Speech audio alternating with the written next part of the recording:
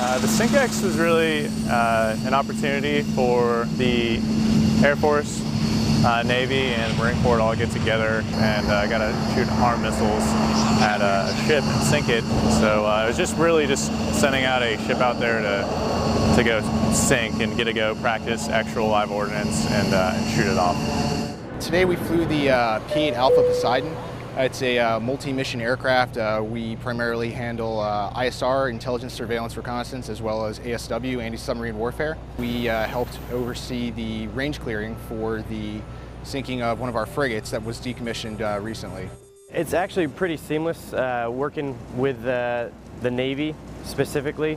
Uh, they are our sister service, so uh, Captain Yonamine was our uh, youngest pilot, so taking him out there and showing him the ropes and showing him how easy it was to work with a Navy. And that's mainly focused on Valiant Shield as well, you know, so ultimately we all work together and accomplish a mission